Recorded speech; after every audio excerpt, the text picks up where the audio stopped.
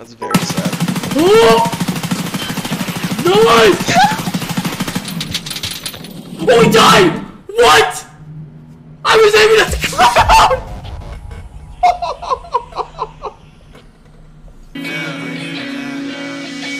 Bother me, tell me awful things. You know I love it when you do. What's going on guys, it's Trip, and today I'm going to be making a little tutorial on how to use InstructBot, because I feel as though the UI is kind of difficult to learn. I'm not sure why they made it as hard as it is.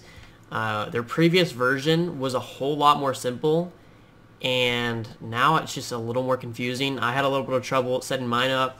Um, I've had friends having trouble setting it up, so I figured just make it a little easier. Haven't seen any videos on this version of InstructBot, and I figured someone might need help, so let's, let's get into it. And quick note, my Twitch is in the description of this video. Make sure to follow and check me out, guys. I've been streaming every single day for the past month and a half or so. And yeah, trying to build my community over there. Now, for the sake of time and making this video kind of shorter, I'm not going to show how to connect the bot to Twitch.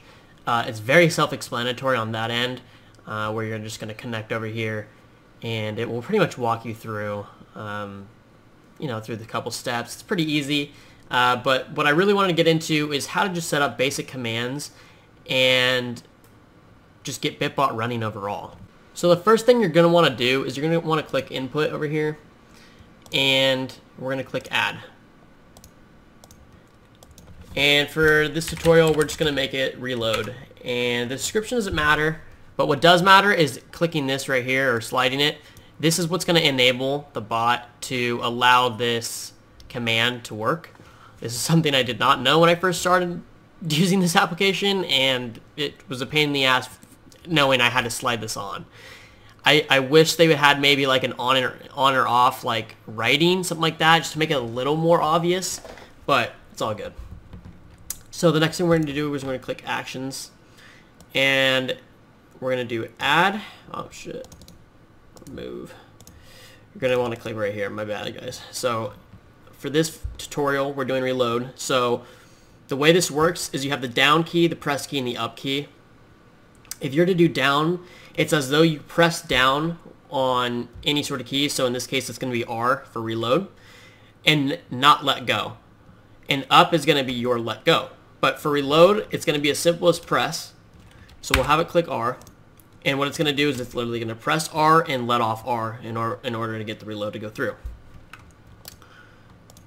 Profiles, you're going to want to make sure default selected. Sometimes it's not, um, but you do want to select this just so it's on your default list of commands. And for triggers, you're going to have your bits, donations, channel points, which you set up through Streamlabs, I believe, and subscription. So all of these can trigger it. Um, I'm not sure how free works. I've, I've not tried that yet. I wouldn't recommend free though because you're gonna like your viewers are going to ruin your life with free. I'll show a couple clips of how Bitbot has messed with my raids, and um, yeah, kind of completely, uh, completely made me lose whatever I was doing. So for reload, we're just gonna do bits for now, and let's just say it costs 50 bits in order to get me to reload. And you're gonna want to go over to uh, users. This is something I don't ever set up because I allow all my users to do it. But what you can do is you can literally pick from every viewer or follower, anybody that's been in your channel to use this. I don't see why you would allow only certain people to use it.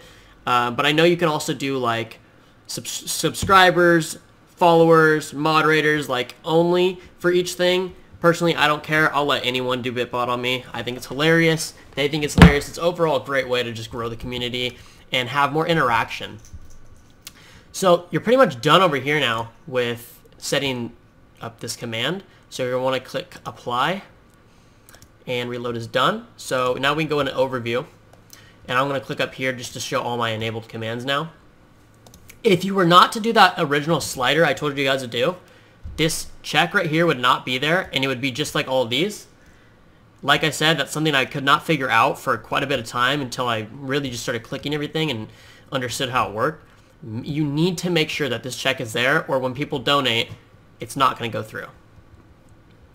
So the last part that was really confusing is the applications part. And you need to do this in order for Bitbot to know which application needs to be enabled when this happens. So in this case, all of my Bitbot commands are meant for Escape from Tarkov.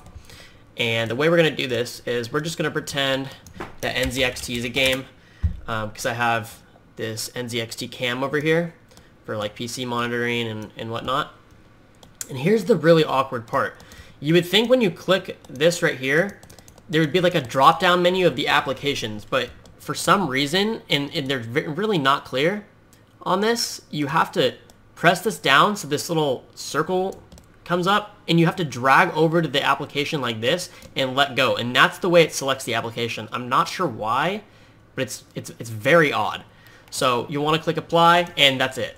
So now if you were to be, I don't know, let's just say on your desktop and someone donates through Bitbot, nothing will happen until you click back on your NZ, NZXT app and it goes through here now. So in, in my case normally, if I'm tabbed out on Discord or, I don't know, Google Chrome, the Bitbot command is not going to go through until I literally click back on Tarkov and I'm in game. And then the command will be sent, which is a really nice feature to make it so that Bitbot doesn't fail as much as it will because things like um, using other keys will screw it up. So if I'm running in game and someone, uh, I don't know, says uh, they donate for my, let's see,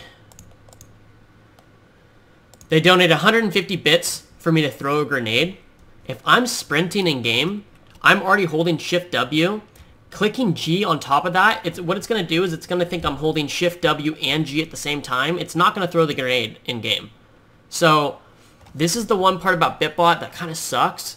But at the same time, it kind of gives you a way to what we call dodge the Bitbot. So if I'm in my maybe my Tarkov inventory or I'm sprinting like I just said, this donation's not going to work. Um, and unfortunately, there's no way to refund someone for missing a Bitbot donation. So really what the viewers have to do is they have to time it, which it's, it's pretty funny at sometimes, but I understand why it's not the best thing. And a good example of this is Alt F4. Alt F4 doesn't always work depending on what you're doing in game. And this is not for every game, but for Tarkov specifically, I cannot be doing another action while Alt F4 goes through. So I'll show the clip, but when I, I just got Alt F4 on reserve the other day, in the middle of doing another action, and because I felt bad that he donated 1500 bits and the Alt F4 didn't work, I went back to the location he told me that it went through at, which was in the middle of the street because he wanted me to die there. And I Alt F4'd my game there for him just because the, the, the app's not perfect, guys. And that's the unfortunate truth, truth about it. And I'm sure over time it will get better. But for now, you kind of have to just compensate when things like that happen. I'm gonna check these out. What is your fucking problem? You What the hell is the matter with you? Motherfucker just closed my game. Did he actually? Yes, he did. Oh my god, you're not in an opportune spot. Dre, it canceled. Dre, you know you can't do it while I'm running? No, Chase, you gotta do it. Is that you outside? Yes, fucking me. I thought you were inside. Dre. So as you guys can see, Bitbot did fail there. It, it happens. There's really nothing you can do about it. So the only thing I could do was literally go back in that same spot and, you know, give him what he paid for. So I held the fort in the middle of the street and he caused me to die over that. The last thing I want to show you guys about Bitbot, which is really cool, is if you go over here to commands and download, and this will only work, by the way, if your Bitbot is connected and working. You can click download, and this is going to have a ton of different commands that people have already made for you in case you're having trouble not getting it to work. So close game, I'm sure this is just another Alt F4. Um, yell, it's probably going to make you click one of your F keys. I'm assuming these are Tarkov commands. Uh, jump, literally going to make you click spacebar. It's all really simple, but it's just already made, so it's like, why remake it yourself? Uh, basically, it's as simple as, honestly, just, we'll do a close game, see how they did it. Uh, you can double click this, or I'm sorry, you gotta take it and then click download. Close that, and it should be in your overview now right here. And what's cool about this is you can see how people made commands so that you can learn this better. I'm not sure what happened here. All right, well that was interesting. Seemed to have crashed my game for some reason, or my uh, instruct bot, which is all right. But as you can see, it's just literally Alt F4, just as I have in my Alt F4. Uh, I did it a little different than him. He did, let's see, presses and releases Alt F4. He did a little different than me. What I do is I have pressed menu down, which is your Alt key, press uh, F4 down, and then releasing both of them in order to make it uh, work correctly. But I'm sure this works just as well.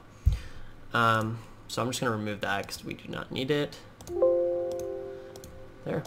And yeah, guys, that's pretty much Bitbot for you. Um, if you guys have any other questions or maybe help on certain commands, I can make another video on that. But for today, I just wanted to make sure that this was all probably prop properly set up. And yeah, there you go, guys. If you guys enjoyed, make sure to like the video, subscribe, and uh, check out my Twitch, guys. I'll be live tonight and almost every other night, guys. So thanks for watching, and I will uh, catch you guys next time. Peace.